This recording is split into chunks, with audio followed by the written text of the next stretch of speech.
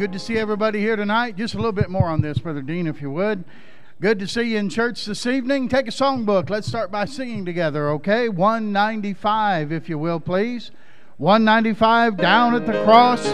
Glory to his name. Let's stand together to sing it. 195, Brother Bob will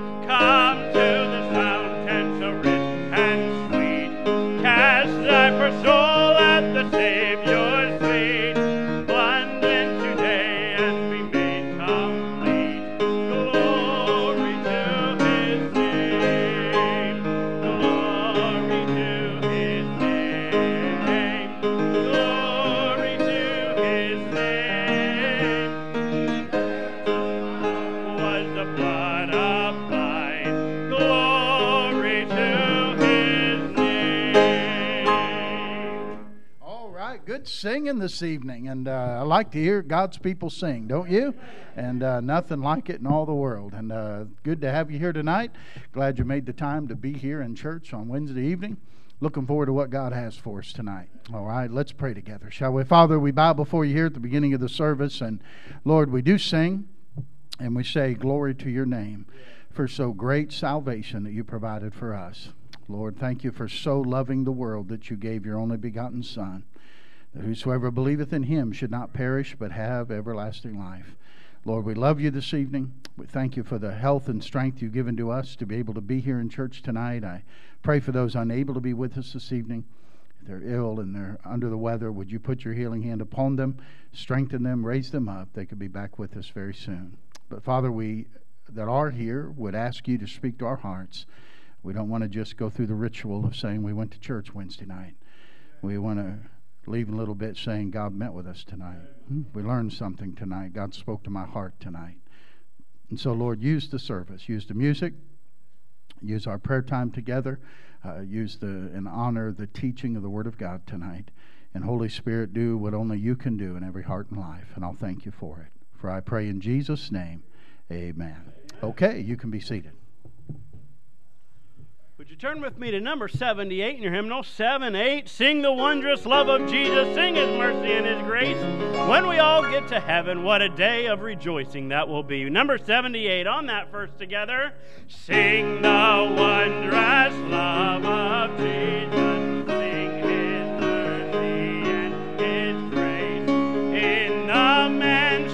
bright and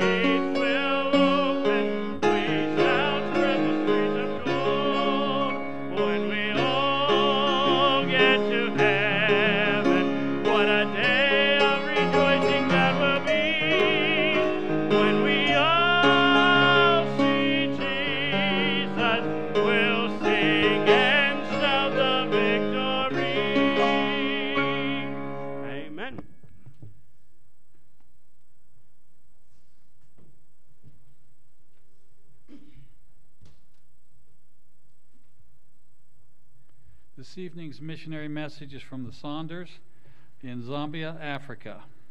Dear praying friends, we're so thankful to everyone who has been lifting up in prayer to our intervening Savior. God has been very good to us. About six weeks ago, we had a young man visit the church. He came after the service and told me he wanted to know more about Jesus.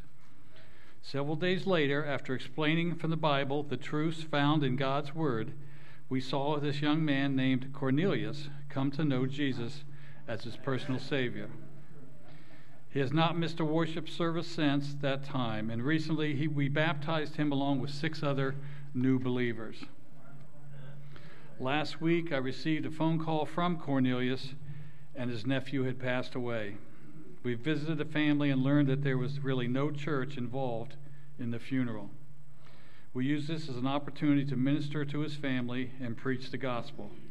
I believe the Lord used the words that we were spoken because the mother of the young boy who died came to church for the first time that Sunday. Please pray for us as we follow up with his family and the gospel will penetrate their hearts. Recently, we had had three funerals associated with our ministry. One funeral was for an older man named Chrisana. I had many Bible studies with this brother while living in Zambia for the past two years, and Mr. Kazanya always gave a solid testimony of salvation. He had, however, never been scripturally baptized, and it was my pleasure to baptize him. Sadly, we had to have to say goodbye on this earth. We had the funeral service, and probably 400 or more people came. During the period of time known as the three days of mourning, in Zambian culture, several people made professions of faith, and for that we are truly grateful. We rejoice in the hope that we'll see Mr. Gonzana again. In my last prayer letter, I asked for you to pray for Danielle's health. For the last nine months, we have struggled to get diagnosis for a type of autoimmune disease she has. After much counsel from the doctors here and in the States, we feel it is best for us to take an early furlough to make sure we get her health back in order. To our knowledge, she has no major damage to any organs or anything. However, if this problem were to flare up, such damage could occur. If we can know for sure what the problem is, we can take measures to mitigate this possibility. We already have purchased airplane tickets for the flight to the United States and should be arriving at the end of August. It is our desire that we can uh, return to Zambia sometime in February. Please pray for us as we prepare for this unplanned furlough. God has sent us someone, fellow laborers from the Philippines. The Gatino family will be watching over our work here in Zambia while we are away. We'll be trying to visit many of our supporting churches while we are in the United States. If you would definitely like to give us an update during this period, please email me at justin.daniel at yahoo.com. Thank you for your love and support for our ministry. God is doing amazing things in this world, and we are pleased to be a part of it. Seeing souls come to know Him as a Savior is indescribable. Maybe we're actively witnessing in our own realm of influence and seeking to win the lost for Christ. Lifting Up Jesus, Justin Sonder. It's exciting to hear these reports, and especially when I remember they were just here, uh, what, two years ago in a missions conference, and uh, now they're on the field doing the work, and that's exciting, exciting news. And I uh, hope you put Danielle down for prayer that they'll get some answers when they come home uh, for her physical uh, situation. All right, got your prayer guide with you tonight. Anybody need one? Put your hand up. The usher will get one to you. Anybody without one tonight? Okay, very good. Start on the back with the coming events, if you will. And uh, are you inside at the CRC prison tomorrow night? 6:30 to 8:30, and uh, we look forward to a good time down there. And uh, then, uh, then our regular Reformers Unanimous here Friday night at the church, 7 p.m. And then we're at the London prison with RU on Saturday morning from 8:30 to 10:30, and um, had a good start there last week with uh, 10 men starting out, and uh, looking forward to seeing what God's going to do there in London. And then our soul winning visitation, as usual, on Saturday morning at 10 a.m. And then Saturday, we have the homecoming uh, reunion barbecue at 4 p.m., all right? And uh, we want to, if you're going to be helping, uh, if you're going to be serving, or if you just want to come and uh, give a hand to make sure everything's all where it needs to be, um, you, you need to come probably about 2.30 2.45 and uh, we're going to uh, we we're going to try to get this thing set up. You'll see there'll only be one entrance. You'll be coming in this way, the Kirk Williams side. This one will be blocked off, and we're going to have some things going on on this side because obviously there's going to be we're going to have somewhere between probably 180 and 200 people, and uh, it's we're going to need some parking and uh, and we're going to have some activities going on, and we're trying not to mix people with cars. That doesn't always work so well, and uh, so we're we'll we'll need some help with the the parking and such, and getting that organized, and uh, so just uh, be prepared for that, and uh, be ready to help any way you can, and uh, be a blessing to folks on Saturday. All right, we'll have a great time. Different activities will be going on when you come.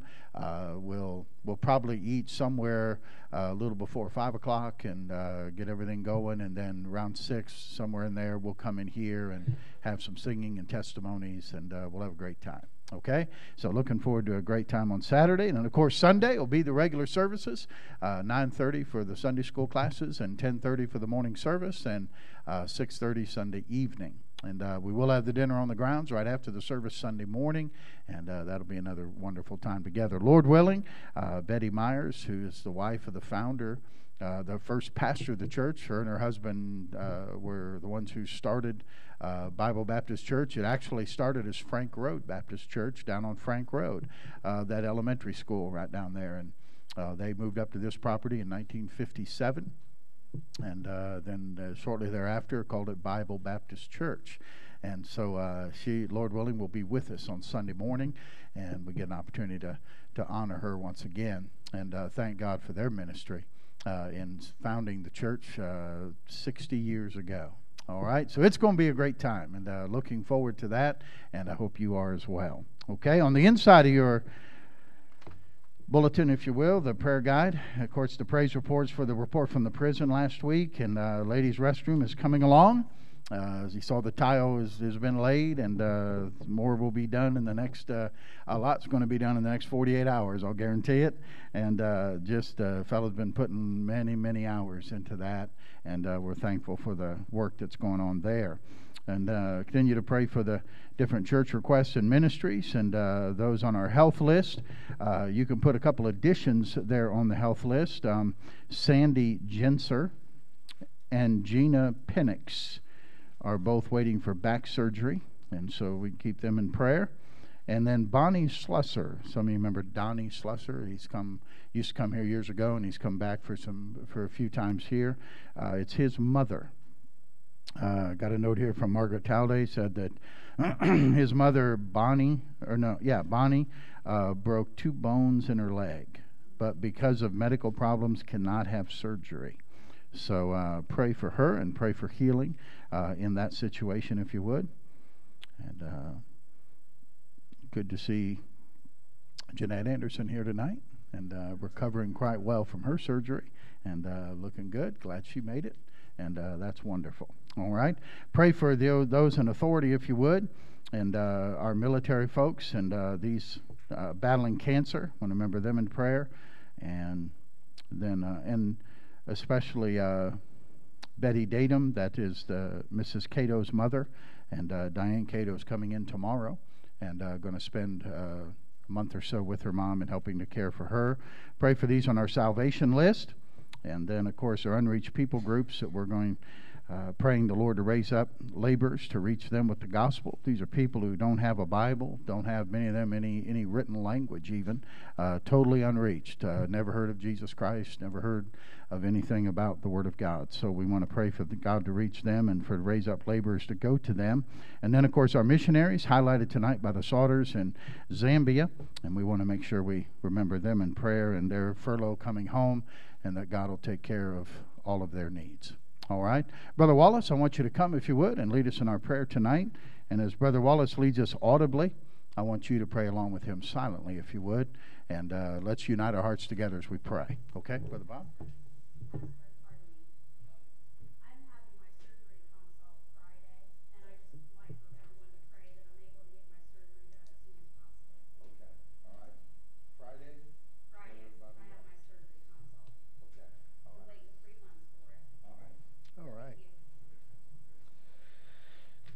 Let us pray. Father, we do thank you again for the opportunity, uh, Lord, the and the privilege uh, that you have uh, uh, allowed us to be able to come to your throne room and, Lord, approach you uh, as your children, uh, faithfully knowing that you hear and answer our prayer. And Father, we know this just by observing the work that you've done here in the last uh, 60 years at Bible Baptist Church, how you've sustained and what a great God you are. And uh, Lord, the, uh, the work that uh, has went on here, uh, Lord, we give you all the credit. Uh, that, Lord, it's been by your power, by your um, knowledge, and by your wisdom that it, it has gotten this far. Uh, Lord, because you've taken a bunch of nothings through the years and you've made something. And Lord, I just thank you for that. I thank you for allowing us to be a part of it uh, over the years. And uh, Lord, I just uh, can't praise you enough for such a great God that you are. And Lord, I just uh, know that uh, when we pray, when we gather together, Lord, we gather, Lord, hopefully to hear from you and to um, Lord, gain a little bit more wisdom and maturity about our Christian life that people would see uh, Christ Jesus in us. Uh, Father, as we lift up the missionaries to you, Father, we do uh, know that they're just families like us, and we know that they have situations, and we know that they trust you and have to walk by faith as we do. Lord, that you promised in your word, uh, uh, Lord, that you would take care of your children. Uh, Lord, the, the first promise you gave clear back in the Garden of Eden, uh, that you would put enmity between uh, us and Satan. That one day there was a, someone coming who would uh, uh, do the work that only he, you could do. And one day you're going to take care of that person and you're going to take care of that uh, evil one. But Lord, until then, we need your strength. Uh, we need your power. We need your uh, wisdom. We need your uh, um, uh, wherewithal to do and to stand. And Father, we thank you for the uh, times that you have allowed us to support missionaries over the years. And uh, Lord, we know that you do all things well. Lord, we pray for this new field that we've went into in the last few months of reaching the uh, people who uh, uh, even we don't even know their language. There, there's so many uh, groups of people out there that, uh, Lord, we can't reach unless we have your help. We, we need to come to that point of where we cry out to you and say, Lord, how do you want us to do this? What do you want us to do? because uh, Lord, this, this seems like a, for a person like me to stand and look at the situation. I just look at this prayer letter and I see all the situations and all the families that are represented here. And, and Lord, my strength, I, I can't help none of them. But I've got a great God that I know can fulfill all their needs and some of their desires as you've promised in your word. And Father, I just pray that. Uh, these uh, groups, these unreached groups that we pray for each week, Lord, that uh, somehow, some way, expediently, Lord, that you'll get the word to them, because we know not what the hour or the day is when you will turn to your son and say, "Go get your bride." It could be tomorrow, but Lord, I pray that uh, you would uh, help us to expediently get the word out and get uh, furnish the needs, furnish the means by which uh, Lord, that you would have us go. Uh, give us a blueprint that, that uh, through our pastor that you would have us to go. And Lord, I, we will thank you and praise you for all that. And Father, I think about the people who are on our cancer list. And Lord, uh, Seth Emmel and, and, many others that are there that you could, uh, uh, Lord, go to their bedside tonight and, and be a comfort to them. And uh, Lord, uh, do a work in their heart if they're not saved that only you could do.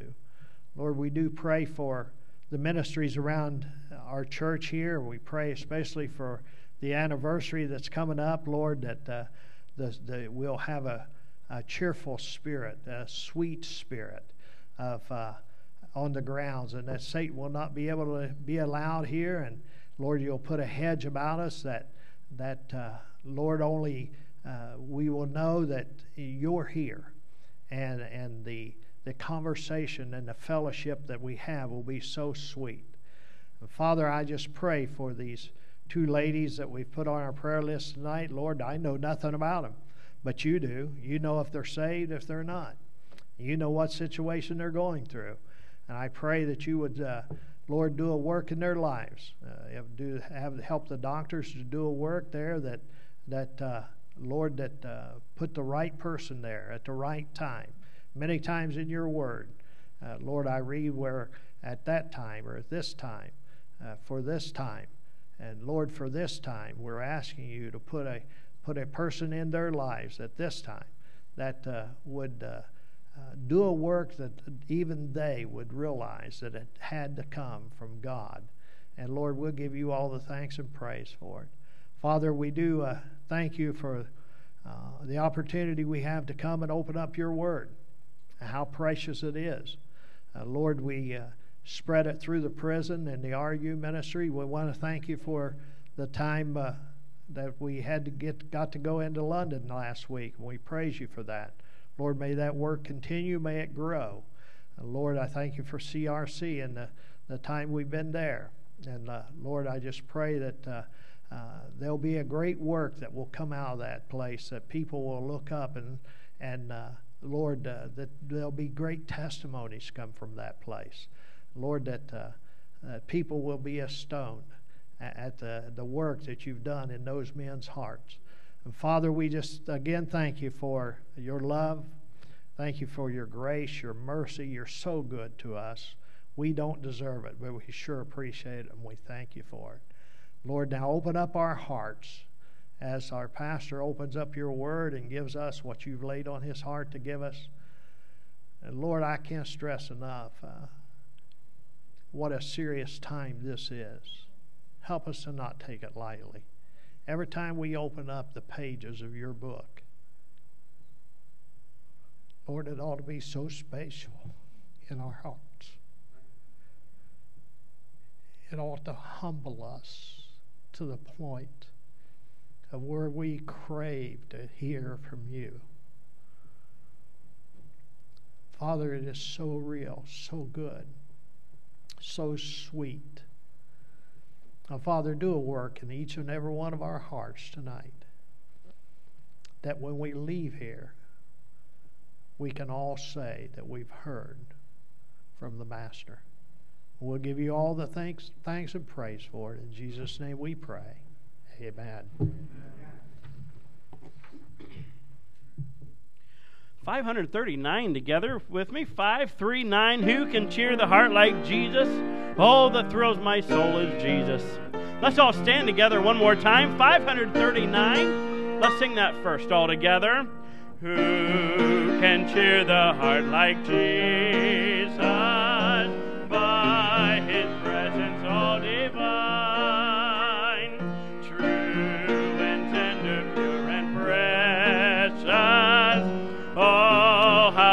To call him mine.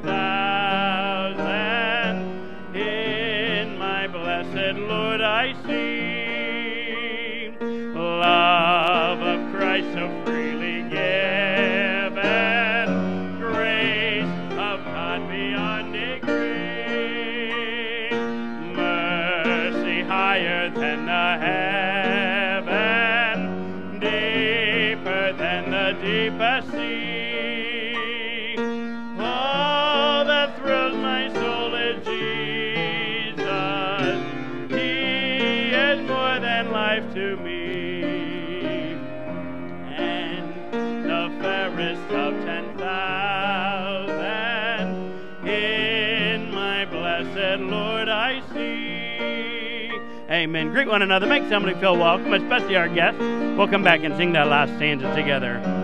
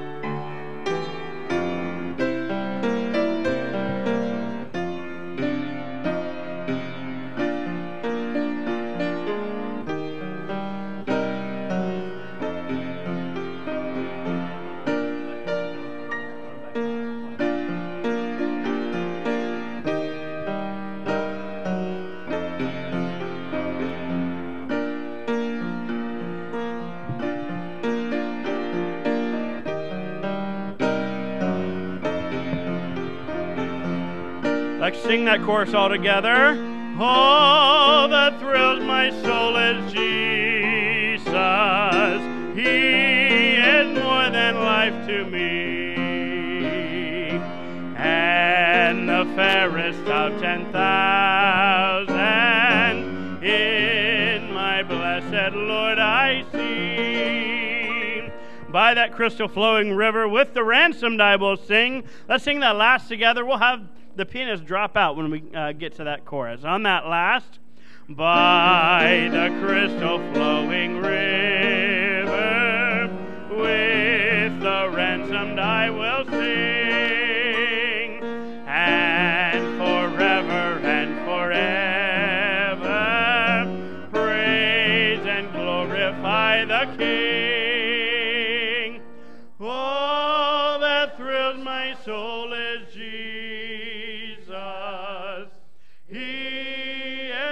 more than life to me, and the fairest of ten thousand in my blessed Lord I see.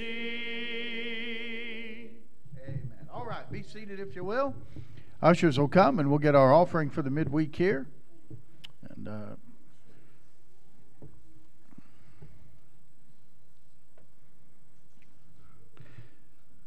let's have prayer and we'll ask God's blessing on our giving tonight. Brother Abrams, you lead us in our prayer tonight, please.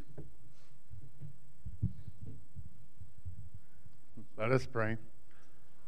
Dear Lord, please bless our offering and uh, may it be of sweet savor to you in our prayers. And uh, we wish that uh, a blessing on all of our uh, missionaries and uh, our pastor as he brings us the word. And we thank you most for your word, Lord. May it lasts down through the ages. In Jesus' name, amen. and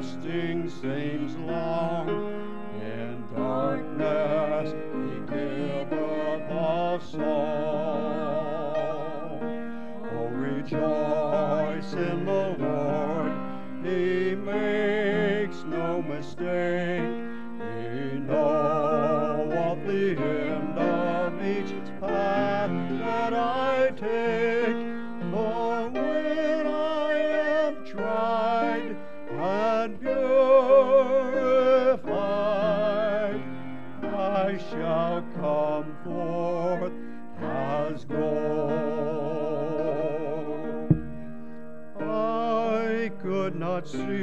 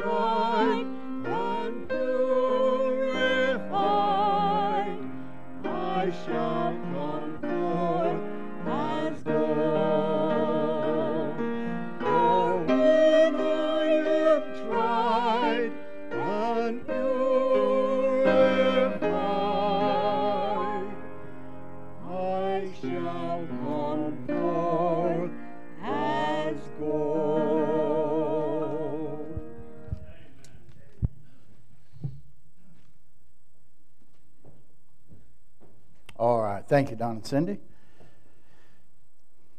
Take your Bible this evening to 1 Corinthians chapter 3, please. 1 Corinthians chapter 3.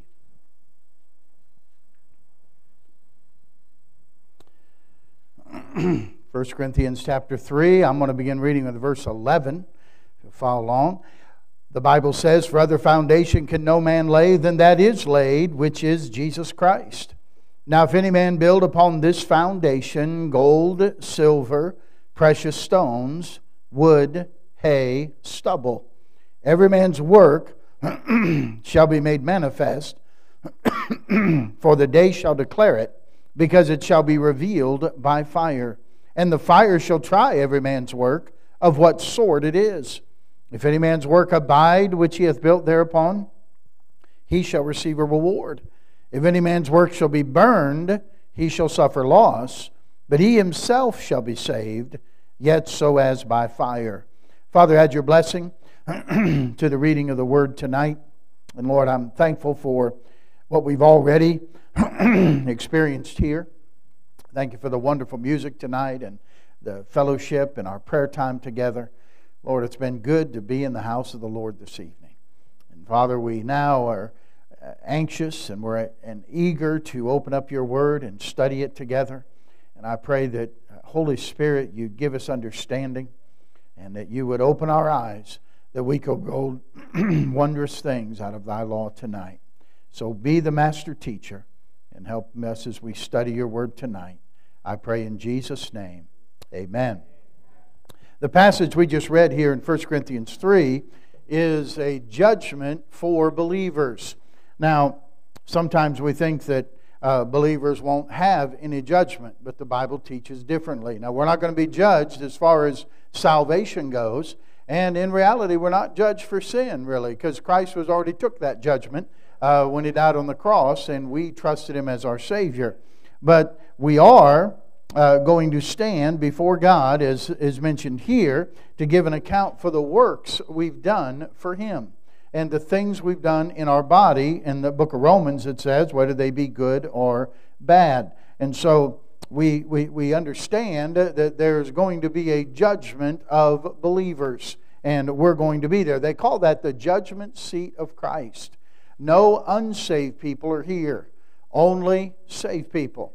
Uh, there's another judgment called the Great White Throne Judgment, simply because he that sat upon a great white throne. And so it's been called the Great White Throne Judgment. That is only for unbelievers. No, uh, I would say no Christians will be there. No Christians are a part of that judgment. I'm not sure that we won't view that judgment. Uh, we may see that. Uh, it's after that point in time that the Lord wipes away all tears, and I think we may see that judgment of loved ones and uh, folks uh, be cast into hell who knew not Christ as their Savior. But those are the judgments, and uh, we're going to focus on this judgment uh, for our study here this evening, and not necessarily the judgment, but things that we can uh, earn at that judgment or we can gain at that judgment. Our deeds or our works are going to be put through the fire. They're going to be tested by fire to see whether or not they hold their value. Now, several points here about this judgment. Though we find out that though we work together as believers, we will be rewarded individually. You find out earlier uh, in the passage there before we, before we read, notice up in verse number six Paul writes, I have planted, Apollos watered, but God gave the increase. So then neither is he that planteth anything, neither he that watereth, but God gives the increase. Now, if you, are, you and I are, are not anything, that means we're nothing. Okay? And, uh, and that's what we are. God likes to take a bunch of nothing and do something with it. Amen? And that's what we are. We're not worried about who gets credit. We're not worried about who did. Listen, God gave the increase. Praise his name. All right? and, and, and we understand we're all working together. You can go out and lead someone to Christ, and, and they pray with you and receive Christ their Savior, and you come back and say, Hey, I led one to the Lord tonight. Yeah, you might have been one of a dozen or more people that had a part in getting that person to salvation.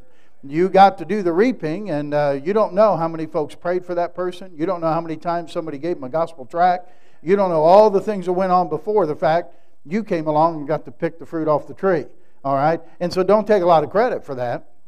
Uh, you and sometimes, by the way, you're going to be on the other end of things, and you're going to be doing the preparing, and you're going to be doing leaving the track, and you're the one who's going to try to pray and water the seed, and someone else is going to come along and do it. So it, uh, we we work together, but here at the judgment, we'll be warded individually.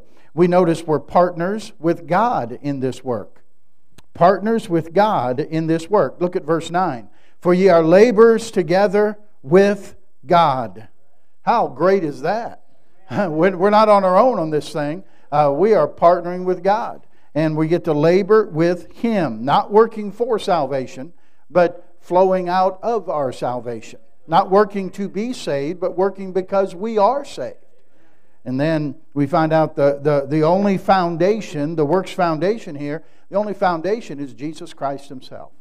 That's the foundation we build on. That's how we know that the people that are here at this judgment are believers because we're building on the foundation of Jesus Christ.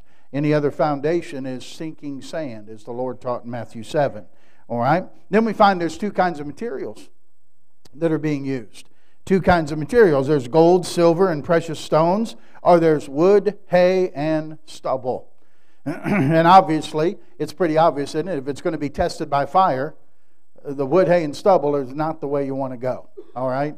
That's not going to make it. And so we understand the choice of material. And so, working together in partnership with God and with the Holy Spirit, with Christ as our foundation, uh, we want to use the eternal materials, the things that God values. And the weapons of our warfare are not carnal, but mighty through God to the pulling down of strongholds. And we use those, and, and then our works for Him will pass the test and will receive a reward.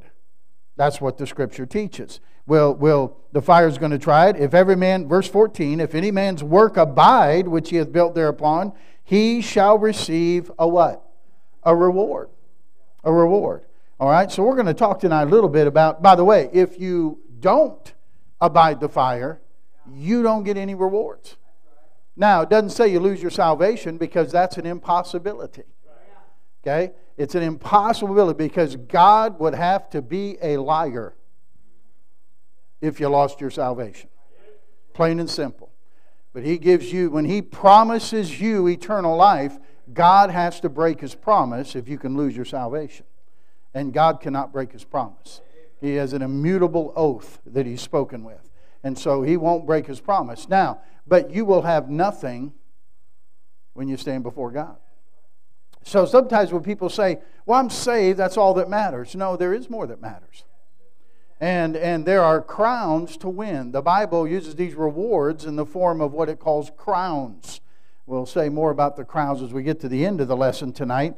But we want to look at these crowns, these rewards that the Christian can win in the Christian life. Hey, I grew up, I grew up in a very, um, my, my father, as many of you know, was a, was a professional ball player, uh, baseball, and a pitcher in the Cardinals organization. And, and uh, we, we just grew up competitive. I, had a, I have a brother, I had a brother, he's in heaven now, but uh, he was two years older than, than I was, and he was uh, a, a, very good athlete. And we just, uh, we just grew up, I think, in, in our I think in the crib, my dad put a ball bat inside the crib and a, a football and you know that kind of stuff. We just we we and and and and we're it, we're going to play, and if we're going to play, we're going to keep score. You understand? And uh, and somebody's going to win, and somebody's going to lose. Amen, brother Yoder. None of this. Let's just play for fun. What are you talking about, man? The the, the fun is winning, man. That's what it is.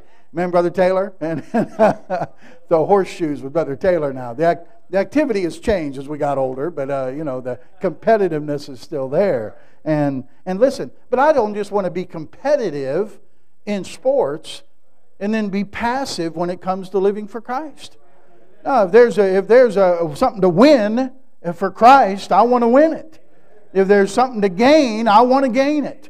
If there's a prize to get, I want to get it. And and you ought to feel that way about excelling for Jesus Christ uh, as an athlete can want to excel for themselves and to get glory for themselves, how much more ought we want to excel for Jesus Christ and bring glory to Him? And so I don't want to be mediocre.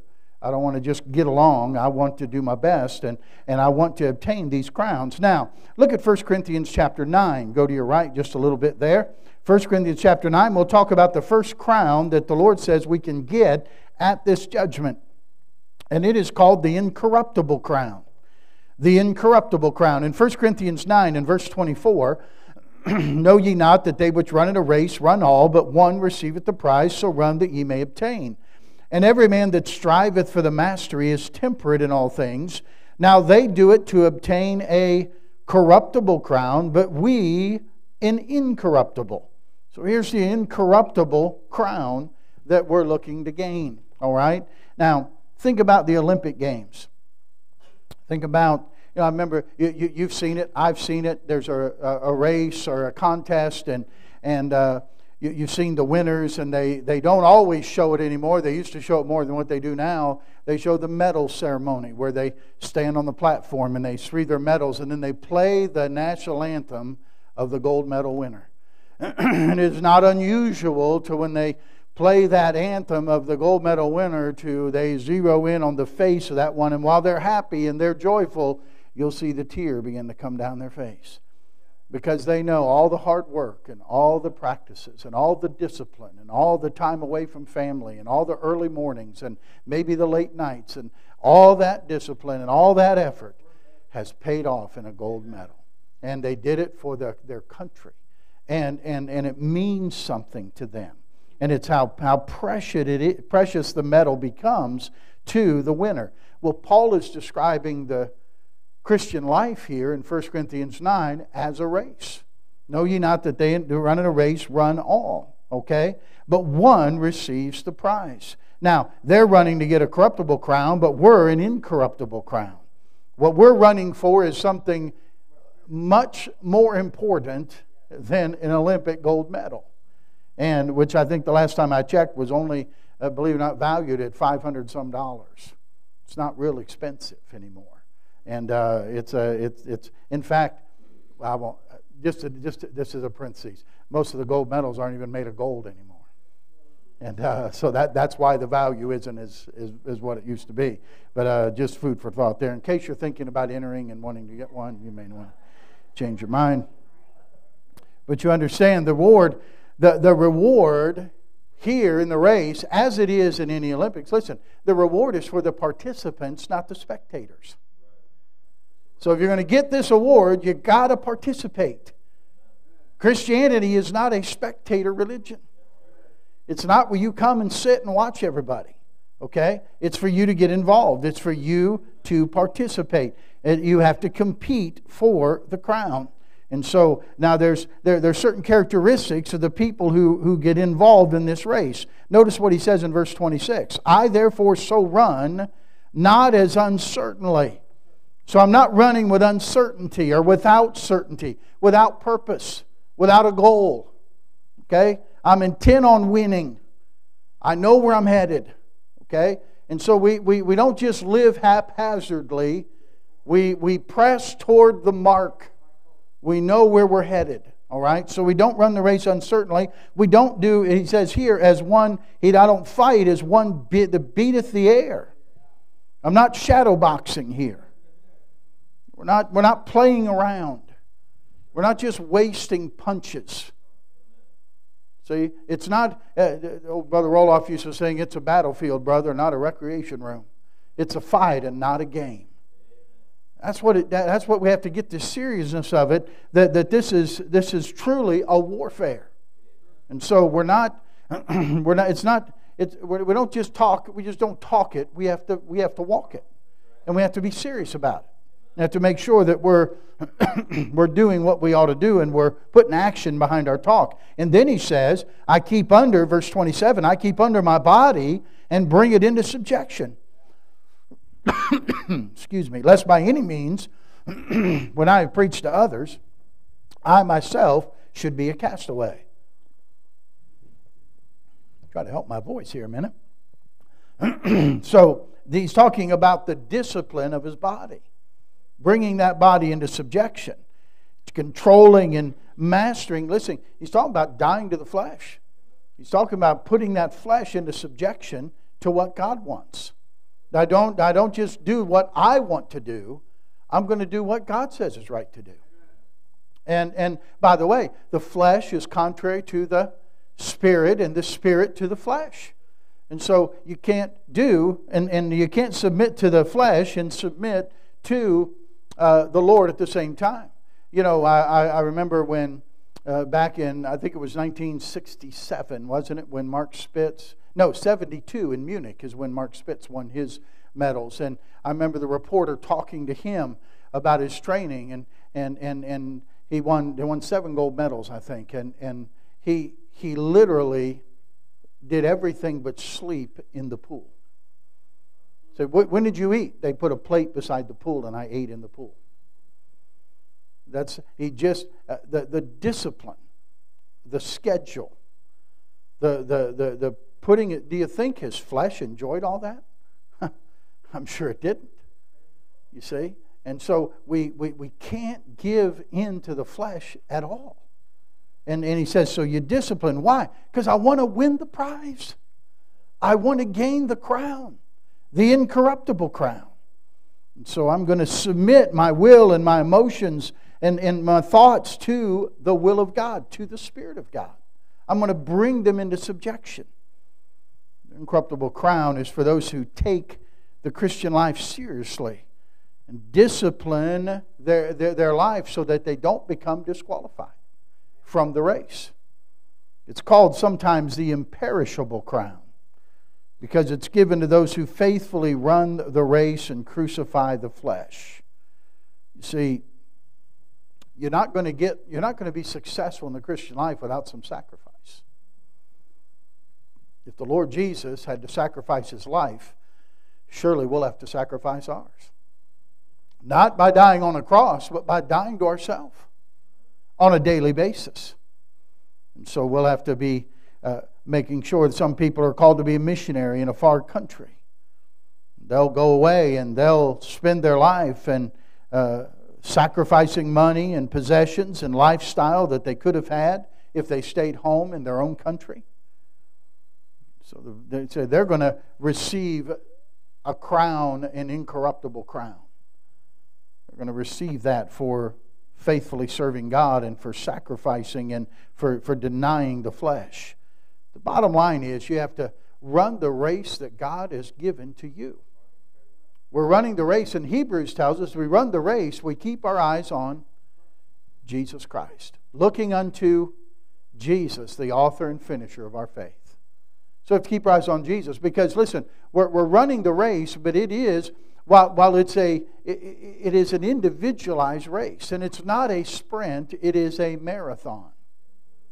You, you got to be in the race of the Christian race for the long haul. Okay? And so when you when you run a long race, any distance runners, anybody run like cross country or you ran a longer race? Anybody in here? Huh? Nikki did some. Mrs. Slabaugh, you did. Wow, I did not know that. 36 years and you're still finding out things, huh? Holding out on me, huh? And uh, the one thing you learn in a long race is you better pace yourself. It's funny, when you watch those races in the Olympics and they're doing the 26 mile one, there'll be some guy who'll take off and be way ahead of everybody, and nobody seems to be worried. The announcers aren't saying, oh, look at this guy, he's going to run away with it. No, they don't even say much about him. Because when you tune back in like two hours later, you know, and they're still running, that guy's nowhere to be found. He's way back in the pack now. He went shot out there, and boy, he looked great and looked good. And then, but you know what? He was running a pace everybody knew he couldn't sustain. You get the pace that you can sustain. Okay?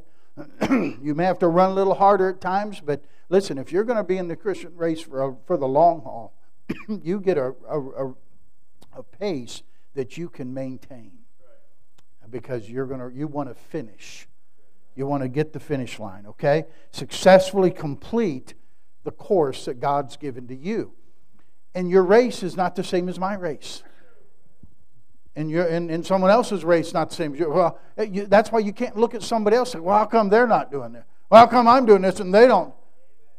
No, no, no, no, because they got a different race to run. And that's why the Lord didn't say, looking unto each other as we run the race. No, you have to look unto Jesus. You're looking unto Him, and, and because He's the one you're out to please. Don't look at other people and try to please them as you run. Okay? By the time you do that, you're going to fall. Okay? Nobody runs the race looking at the crowd. Okay? You're going to run into something or trip and fall or hit another runner. It's just it, nothing good's going to happen that way. Okay? So that's the incorruptible crown. Number two, let's go to the second crown. Look at 1 Thessalonians chapter 2. 1 Thessalonians chapter 2. 1 Thessalonians 2 and verse 19. Are you doing all right? We're gonna, we got to go quickly, all right? Because somehow that clock keeps moving. And uh, we got to we gotta move quickly here, all right? Notice what Paul writes here, 1 Thessalonians 2 and verse 19. For what is our hope, our joy, our crown of rejoicing? Are not even ye in the presence of our Lord Jesus Christ at his coming? For ye are our glory and joy. He's saying, You are our hope, our joy. You are our crown of rejoicing crown of rejoicing. The greatest, and he's talking to these people in Thessalonica whom he led to Christ. The greatest thing, that, listen, the greatest privilege you ever have as a believer is to being able to, to lead someone else to faith in Jesus Christ. What a joy that is. What an honor. And there's no greater joy than that. What a joy it'll be in heaven to meet people that you had a part in leading to Christ. Now walk up and say, Thank you. How about the missionaries you support? And people from other countries and other nations will come up and say, Understand, you gave to keep the soldiers on the mission field. Hey, and that Cornelius guy will come up and say, Hey, I got saved because you sent them. What a joy that'll be. And Paul said they are they were his hope, his joy, his crown of rejoicing. Whenever, if you've ever led someone to Christ, and I pray you have, you know the joy that that brings outside of you getting saved, it's the best joy you'll ever experience. Knowing that you had a part in getting someone else to receive Christ as their Savior. Now, John 4 and verse 36 reminds us that, that both he that, that, that uh, sows and he that reap, they both gather wages and fruit unto life eternal. But he that, listen, it says, so he that soweth and he that reapeth can rejoice together. Again, that nobody takes the credit by themselves. You realize that we're working together in this. There's great rejoicing in heaven when one soul repents from Luke chapter 15. And so we're, we're going to be rejoicing there. Several things about receiving this crown. Number one, we must live that others may see Christ in us. We have to live so other people will see Christ in us. But number two, we have to give so that others will know Christ. We have to give so that others will know Christ. Not all of us can go to Zambia, Africa. All of us can go over to Nepal. All of us can go to Mexico. But we can give so those who God speaks to can't go and get the gospel to them. Number three, we must speak that others may know of, know of Christ and we can lead them and give them the gospel of Christ. We have to speak. You got to live right, and you want to so live that Christ is in you. But let me ask you a question: You, anybody here ever had someone come up to you and say, "You know, I see Jesus so much in you. I'd like to get saved."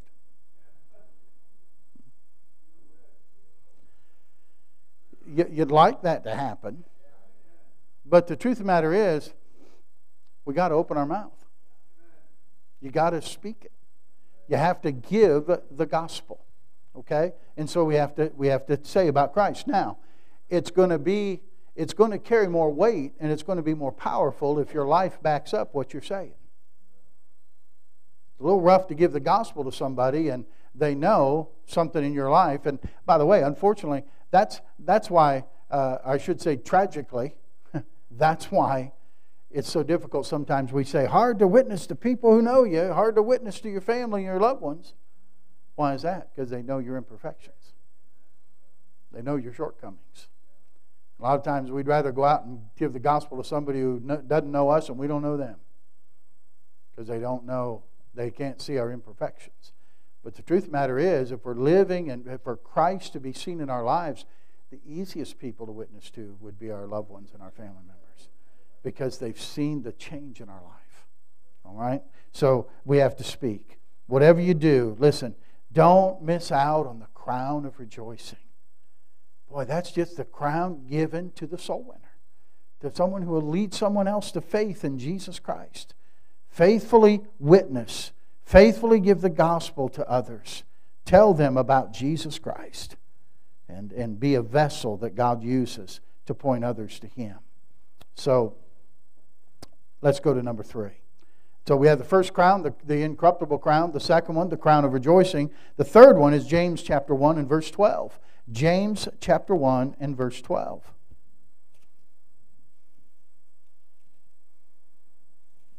James 1 and verse 12. If you're there, you say amen. All right. Blessed is the man that endureth temptation, for when he is tried, he shall receive the crown of what? Life, crown of life, which the Lord hath promised to them that love him. The Lord's promised this crown to those who love him. Isn't that interesting? Hey, I, we ought to love him just because he first loved us. And all that he's done for us, man, how can I help but love him? But God says, You love me, I'm going to give you a crown for that.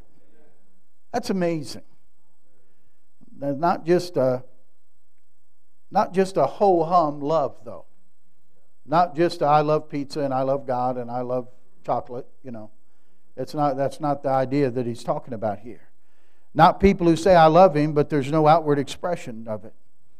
This is someone who loves God, and it's obvious they're completely devoted to God. In fact, it's a love for God that causes us to love Him more than we love our own life. That's what it's talking about. Scripture says to love the Lord your God with all your heart, all your soul, all your mind, all your strength, with everything that is in us. The kind of love, as we talk about Sunday, that takes up the cross, denies ourselves, and follows Him. That's the lover's crown, the crown of life. Jesus said in Mark 8:35 that whoever shall save his life shall lose it. Whoever will lose his life for my sake in the gospel, the same shall save it.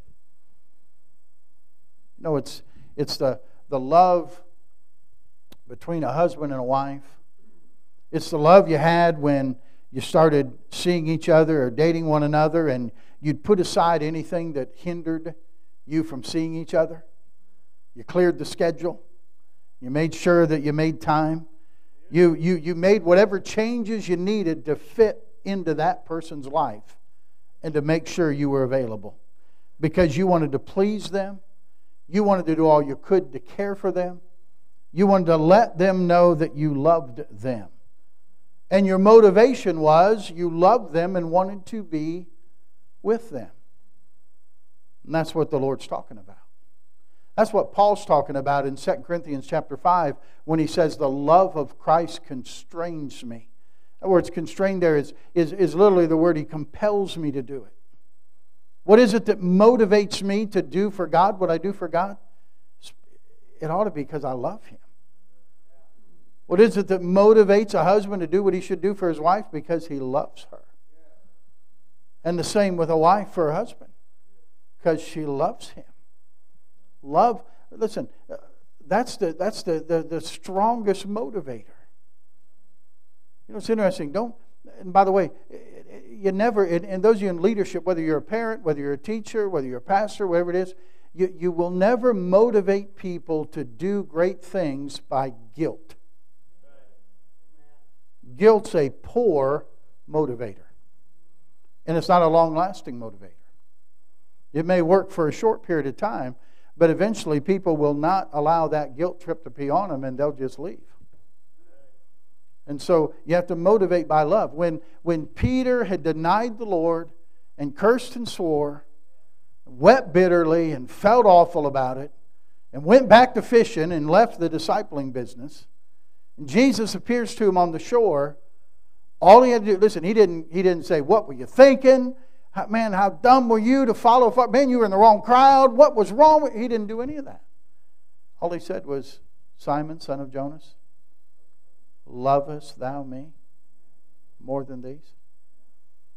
He was just trying to say, Peter, the greatest motivation you're going to have to serve me is you love me. You love me. Peter got the message. And by the way, you read the rest of it. You go from John into, into Acts, and he got the message. Huh? And he stood up for the Lord. Does the love of Christ compel you? That kind of love for Christ will receive the crown of life. It'll receive the crown of life. You seek first the kingdom of God and his righteousness. You put God first and loving God first, and all these things will be added unto you. Love the Lord with all your heart, all your strength, all your mind, and all your soul.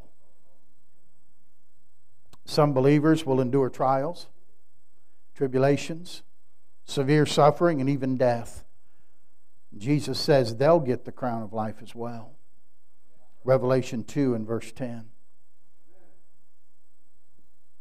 Obviously, loving God enough to die for him is the ultimate show of love because greater love hath no man than this that a man lay down his life for his friends.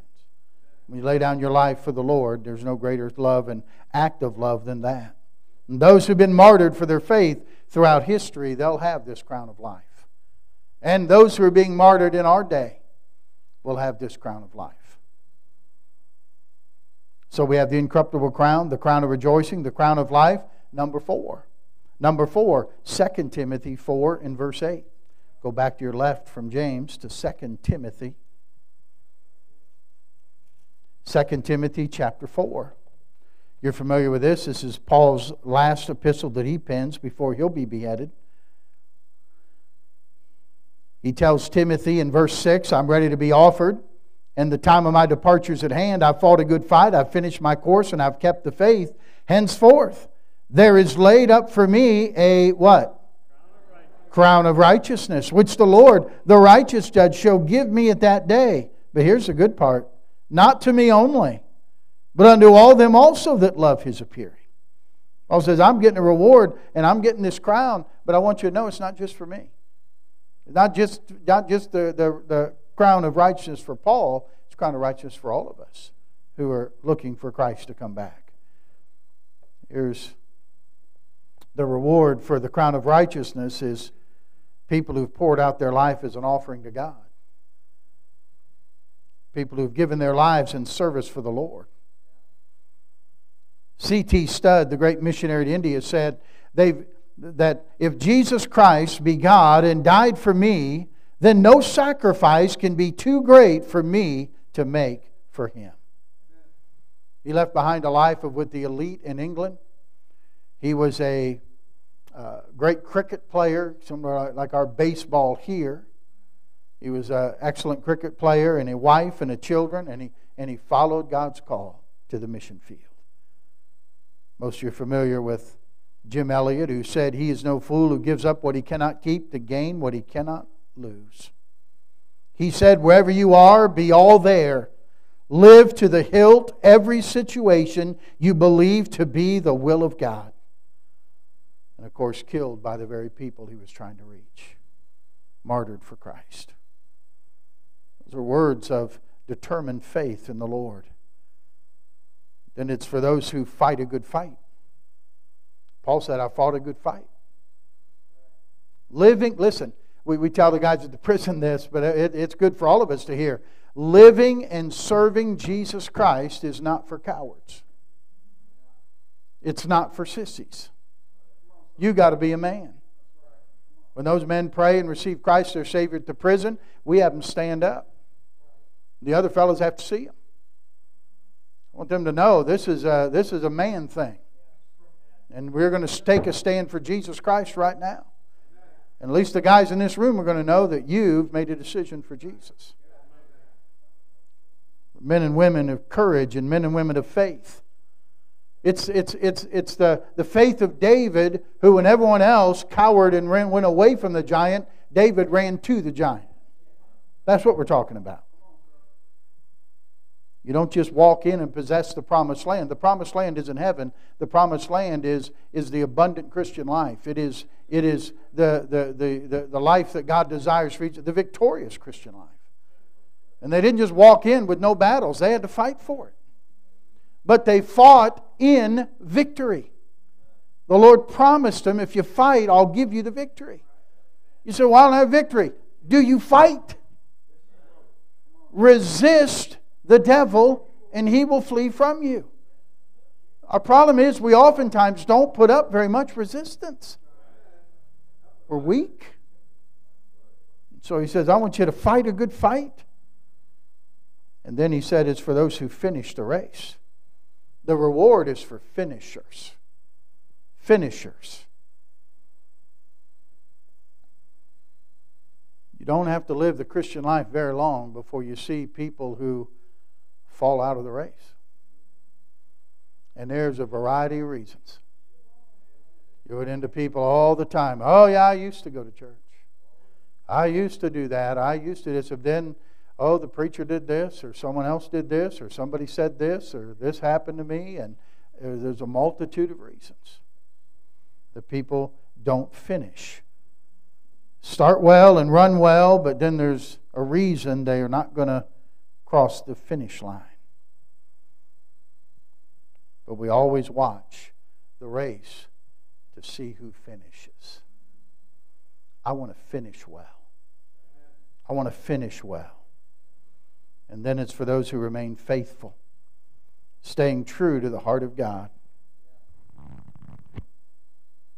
You know, people who finish, listen carefully, people who finish not only give up they, they never give up on what they're doing for God, but they never give up on God when He doesn't do what they thought He should do.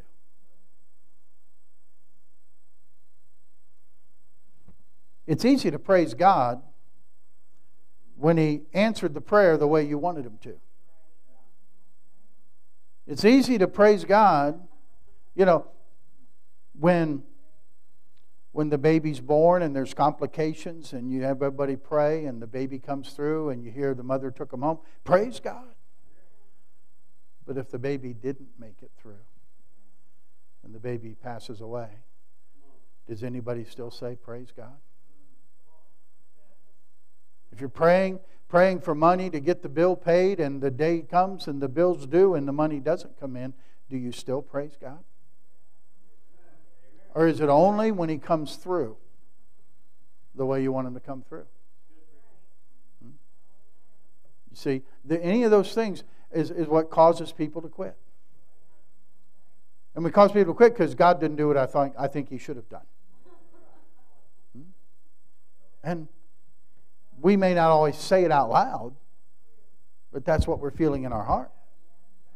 God didn't do what I thought He should do. Faith is faith is singing praises to God and praying even when they just threw you in prison and you're in stocks like Paul and Silas did. I mean, they, they, get, they get thrown in prison. And by the way, why were they in Philippi to begin with?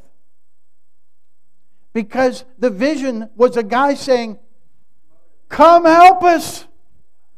And he said, So we didn't go over to Asia. Assuredly, we said we were assuredly gathered. We knew God was calling us to Philippi.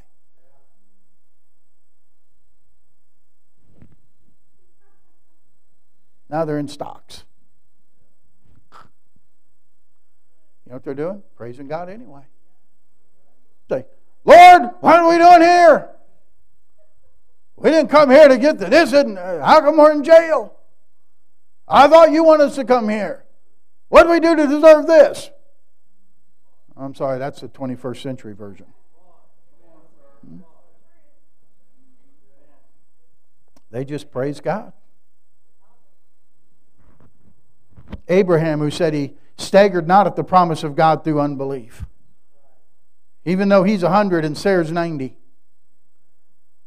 And it was that faith that God credited him for righteousness.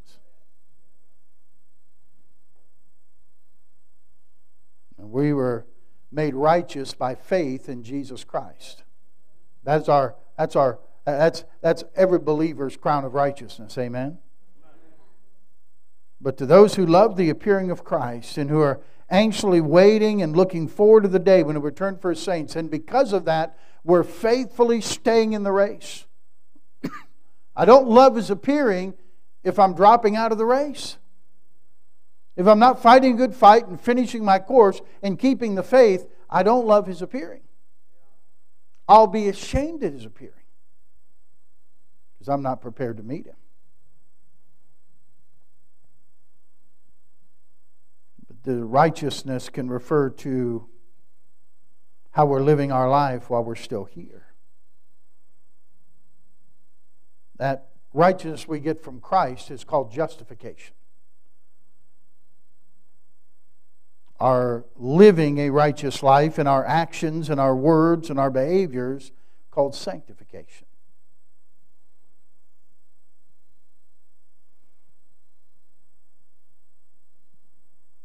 God desires that we choose to live in righteousness. The Bible says it's not, it's not us by trying to try, trying to try harder. The Bible says we're yielding our members as instruments of righteousness unto God. It's yielding. And God will do the rest. But you have to want Him to do it. God doesn't take an unwilling vessel and make you do the right thing. God wants you to yield to Him. Are you willing to yield to Him? That means you take your hands off and you let God be in control. Most Christians are unwilling to do that. Or we'll do it for a little bit, and then when, it, when something comes up, we want it back. I, no, Lord, I gotta, I gotta have this. I gotta have this. And we won't let him have it. Incorruptible crown, the crown of rejoicing, the crown of life, crown of righteousness. The fifth one and the last one is 1 Peter chapter 5. And this is the crown of glory the crown of glory. Are you okay? We're almost done. 1 Peter 5.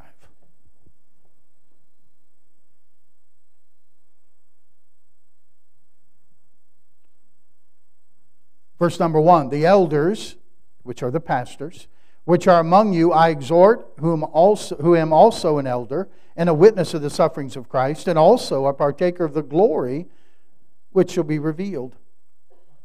Feed the flock of God which is among you, taking the oversight thereof, not by constraint, but willingly, not for filthy lucre, but of a ready mind. Neither as being lords over God's heritage, but being in samples to the flock. And when the chief shepherd shall appear, ye shall receive a crown of glory that fadeth not away. Now, this is sometimes called the pastor's crown. It's going to be given to those who minister the Word of God faithfully.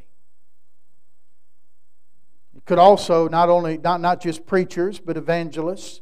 It could include teachers, Sunday school teachers, missionaries, those who are teaching the Word of God and feeding the flock of God. It's, it's the importance of bringing up others in the ways of the Lord. Not only to salvation, but teaching them to grow in grace and in the knowledge of our Lord and Savior Jesus Christ. God places a great value on that. He places a great premium on that. We have, I feel like in our, in our day and age, as we've seen the transition of churches into entertainment, we have seen, we have seen the value of Bible preaching and Bible teaching go downhill where, where now, uh, if the service is an hour and 15 minutes, there's sometimes an hour of music and entertainment and about a 15 minute sermon. And, and some of that is more psychology than it is Bible. And so we're, we're, we're missing out. And, and by the way, they'll miss out on this crown. It's those who will faithfully teach the Word of God and, and, and feed the flock of God. The only thing I have to feed you is this it's the Word of God. But people at Bible Baptist Church have been feeding on the Word of God for 60 years. And the Church of God has been feeding on that Word for 2,000 years. And guess what? No one's exhausted it yet. There's still more. It's an amazing thing. Now, you may say, well, I'm not a pastor, or that award can't be given to me, but let me show you how I think you might be able to receive this award. There's this reward. Look at uh, Hebrews chapter 13. Hebrews chapter 13, just to your left there, just a little bit. And then put a finger over in Matthew chapter 10. Would you do that? Hebrews 13, and then put a finger in Matthew chapter 10. Hebrews 13 and Matthew 10. Okay? Now, Hebrews 13. Notice with me, if you will, verse number 17. The Bible says, Obey them that have the rule over you and submit yourselves, for they watch for your souls, as they that must give account, that they may do it with joy and not with grief and says, Submit yourself to those who have the, the rule or the authority over you. In, in, and he's talking here in the context of the church and, and in the Christian life, and that be your pastor. Well, listen, has those that must give account. I'll give an account for those whom the Lord has put under me as a shepherd in the church. And I'll give an account for that. Okay? I'm, I, I, I'll have accounting before God. And he says that I want to do it with joy and not with grief. Because, and listen, you would think that if I have to do it with grief, that that's bad for me. But what's the last line of the verse say? That's unprofitable for you. If you don't follow the teaching, if you don't submit yourself, then that's going to be accountable for you. And it's not going to be fun for you. But if you'll follow and submit to those who are looking out for your souls, for your best interest. The pastor, the pastor doesn't, I don't sit in my office and think, let's see, how can I make their life miserable this week? How can I how can I take the fun and enjoyment out of their life this time? Sometimes that's what I think people think the pastor must do. And then the pastor's only desire is I want to help you live for God. That's it. I just want you to experience God's best for your life any way I can. Now I want you to look at Matthew 10. Matthew 10. Notice what he says. Verse number 40. Matthew 10 and verse 40. He that receiveth you receiveth me. And he that receiveth me receiveth him that sent me. Now look, he that receiveth a prophet in the name of a prophet shall receive a prophet's reward. And he that receiveth a righteous man in the name of a righteous man shall receive a righteous man's reward. I think if you receive in that same thinking, I don't think it does the scripture harm to say if you receive the pastor in the name of the pastor, you can receive the pastor's reward. I think that's what the Lord's teaching. But it, you have to be willing to submit to those whose authority you come under. But the crown of glory in 1 Peter is specifically for the pastor. Though I think that doesn't exclude others who will willingly submit to the leadership of the pastor. Listen, Paul said, Be ye followers of me, even as I also follow Christ. You can follow your pastor as long as he's following Christ. And by the way, if the pastor doesn't follow Christ, then you're, you're not obligated to follow him. I, I want you to follow what I say, but you, are, you have a right, as Berea, as we talked about last week, you have a right to go to that book and say, and if there's something I'm telling you that you see the Bible says something different, you, you ought to be at my door saying, Pastor, I got to talk to you. And say, I, help me understand. You said this, but what I read is this. What about that? And ask in a nice way and ask in a kind way. And listen, if this says one thing and I said another thing, I'm wrong and God's right. Pretty simple. All right? And, and, and, and, and you ought to be doing that. Don't just take what the pastor says. You, you make sure it's what God says. I want you to do that. And, and we ought to desire you do that. And so here's, here's what we got, and we'll be done. He says, You get the crown by, by serving willingly. That's what it means by not by constraint, but willingly. Willingly, not by constraint. So you don't just do it because you have to, you get to do it because you want to. And you get that. And by the way, that creates the right atmosphere in the church.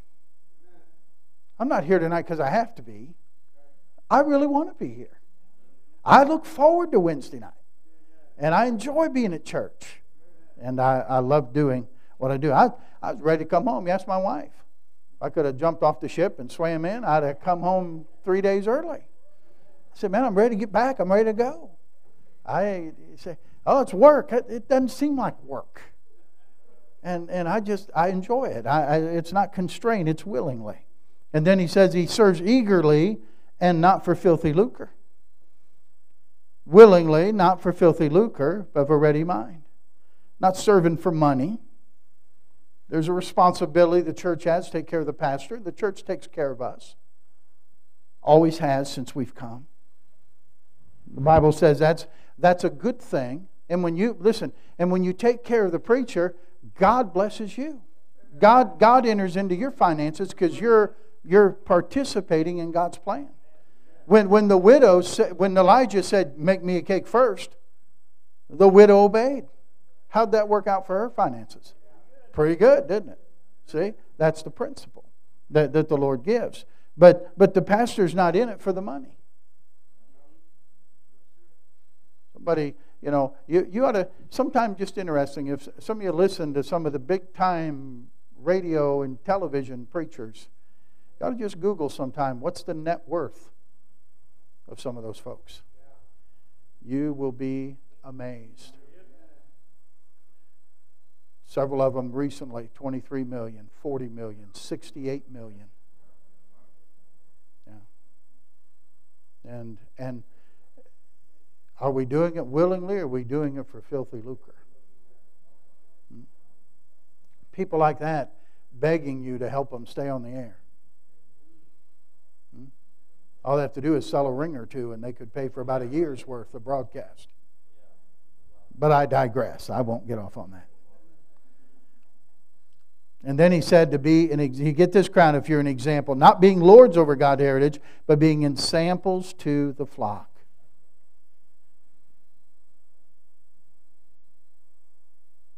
Not just to reprove and rebuke and exhort with all long suffering, as Paul told Timothy, but you're to set the example.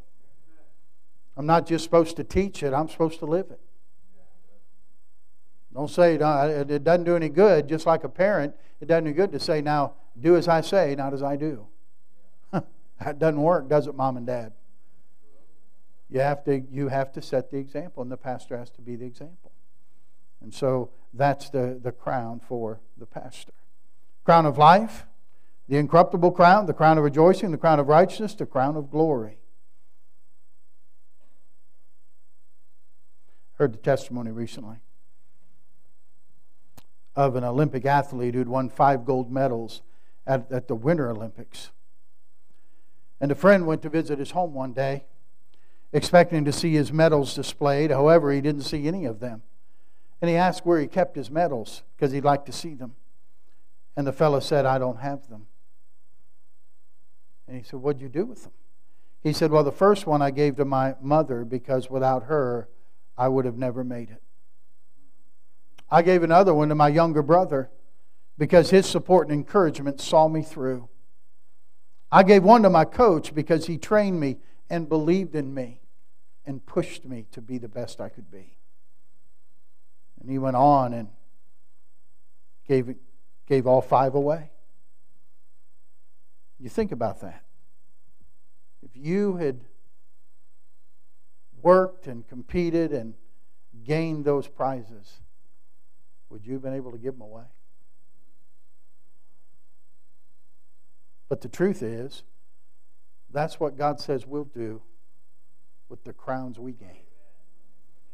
We'll, we, we have crowns we can win, and I hope, I hope there's a passion and a desire to say, man, I don't just want to get along, I don't just want to move along. If there's a prize to win, if there's a crown to gain, I want my work for God to go through the fire with the gold and the silver and the precious stones and get the crown. But in Revelation it says we'll gather around him that sits on the throne and we'll fall down to worship him and we'll cast those crowns at his feet. Because without Him, we can do nothing. I can do all things through Christ, which strengthens me. And without Christ, I can't do anything. You know what happens without Christ? Wood, hay, and stubble. It'll burn up. The things I did in my own strength, wood, hay, and stubble. Things I did for people to say, hey, look at me, wood, hay, and stubble.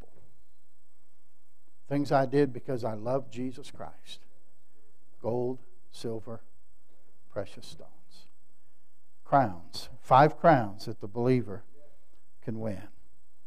It's through Him and for Him and to Him that we live. That's what it's supposed to be. Boy, the world's look. I think God. Listen. I think the world's looking for people to live this way to see genuine Christians, genuine believers. Let's, let's run. Let's, let's obtain. Let's get some crowns. Amen? Let's stand together, shall we? Father, add your blessing to our study here this evening. Lord, I pray that since you have laid out these crowns in your word, that each of us tonight would say, Lord, I'd like to obtain those crowns not for my glory, but to be able to cast them at your feet to say, Thank you, Jesus, for life and life abundant. That we can enjoy the Christian life and enjoy living for you. We ought to do, we ought to do all these things we talked about just because you loved us and you gave yourself for us that we could have eternal life. But you do exceeding abundantly above all we could ask or think, and you give us crowns that we can obtain. So, Lord, put it in our heart to excel for Thee, do our very best for Thee, to allow You to have Your will and Your perfect way in each one of our lives, that we would live to the praise and the honor and the glory of Jesus Christ. We love You. Thank You for loving us. Dismiss us now with Your care, Lord. Make us mindful You go with us from this place tonight. And may we others see Jesus and may we speak of him to others between now and the Lord's day. It's in Jesus' name we pray. Amen. Amen.